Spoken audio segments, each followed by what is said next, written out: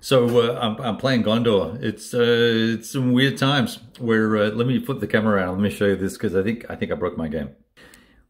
So, and I'm hoping I'm reading these rules right. I I, uh, I don't know what's going on with me lately.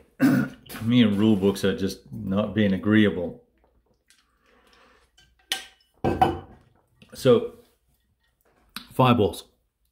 Fireballs can, uh, when they're fired, can scatter and this this fireball was aimed here, scattered here. This is the Minas Tirith gate. Now the Minas Tirith gate, where did the little stack go? Here he is. Minas Tirith gate uh, has in front of it the Grand or whatever it is, uh, Doohickey big battering ram, magical battering ram. It's the only thing that can knock down the gate, right? So uh, that's all good. good. The bad guys, the folks from Mordor, uh, knock down the gate. They roll a five. They used a spell from the Nazgul dude. He used one point. That's kind of stupid. That then there's another, just a goofy little thing on the chart, but you, you could arguably use eight points, but you only need one yet it's on the chart. Anyway, um, it's a Richard Berg thing. You, uh, you, so the gate's open. Okay, awesome. So now all my dudes can go into it, except that, uh, you know, there's a dude in here. Let me just, you know, right. And he also has the cauldron, which is, there were three little things underneath here. He actually has one left in there that I used, but I, but I used it on this. Now, if I use it, you know, first of all, is he on the ground level or is he on the upper level? And maybe I'm overthinking it here, but if I drop oil on him, I kill the dude underneath and then the Grand Ram has to be manned by somebody else. Regardless, so I would have dropped that first because I can do that at any time. Knocked out that guy. He brings another fellow up. I, this chap would then have to, uh, I would have to have another oil marker available handy, which come from the cauldron. So I would either have them here or I wouldn't. But I could arguably go get it from another cauldron and bring it over here and drop it on this dude again and keep doing that. But let's just to say, for example, that that was the last oil and I replaced the dude here. We roll the five, it opens the gate and everybody can go through. Okay, so in essence, we can get put the leader aside because he's pretty useless anyway.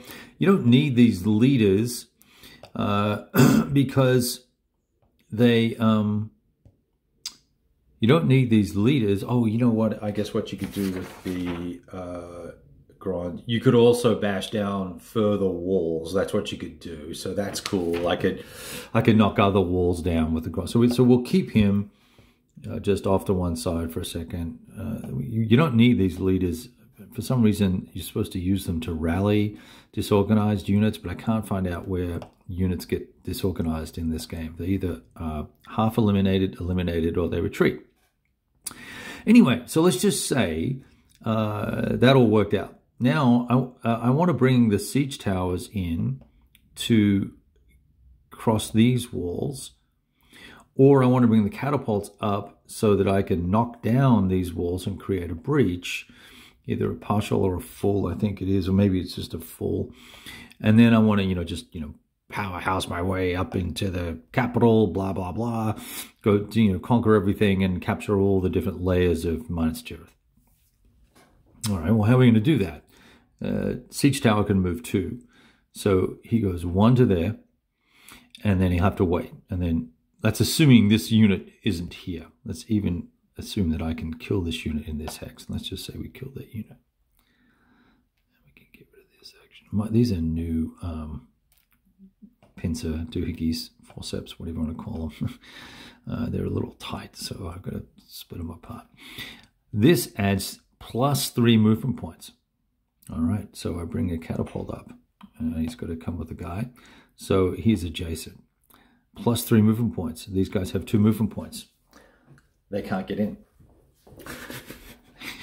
and I, that, that is the only place you can enter unless you go over the wall, which means that no cavalry can come in. uh, actually, cavalry can come through, but my catapults and my siege engines are going to be stuck outside the walls. So that's a really bad problem to have uh, for the uh, for the, the, the Sauron's forces.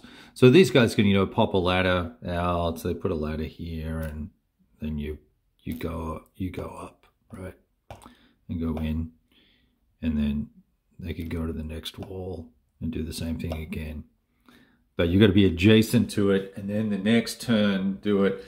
So that's uh, without combat, two, four, six, eight, ten turns. That that's not enough turns to get up into into the the pinnacle or the top of the the the, the Gondor Gondorian uh, Capitol building or whatever it is where they have the big fight. Uh, so I think I broke the game by scattering into here. Uh, and Rohan had just arrived. I was just about to move my Rohan guys up, and it was going to be all fun. It's only turn five. I got all my Rohans ready to go. They were going to big cavalry battle here. It was going to be awesome. These dudes just crossed over here. He'll get over. He probably won't make it this turn. He'll get killed by the, the by Rohan.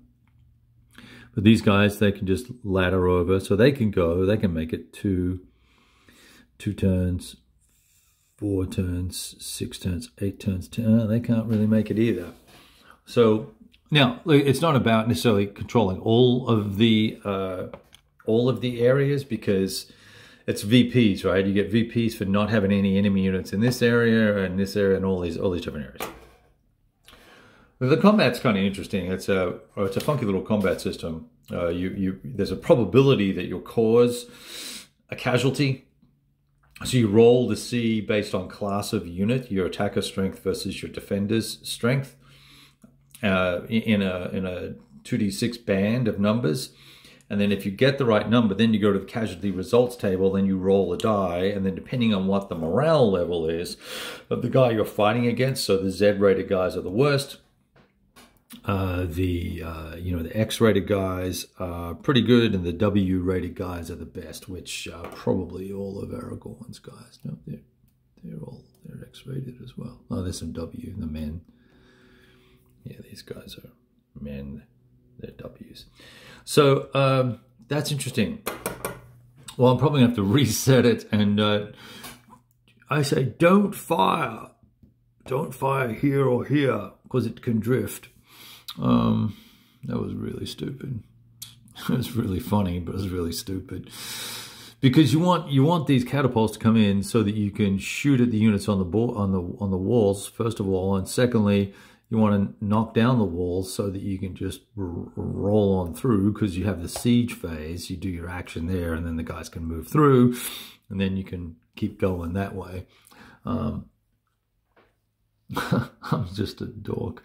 All right, well, I guess I'll get restarted or maybe we'll just pack it up and we'll play it again sometime soon. But I tell you, it's a pretty interesting set of rules here, and I don't want to get into a long sort of review type thing or discussion about the rules, but it's got, this is a really smart little game. Uh, I, I, don't know that it's all 100% tight and done. Uh, like I said, there's some issues with, I don't know, the the morale rally ratings of units. Uh, the magic stuff is cool. So there's spells that each side can cast. You've got a finite number of points you can use to cast spells. So anyway, it's all good. I'll talk to you soon.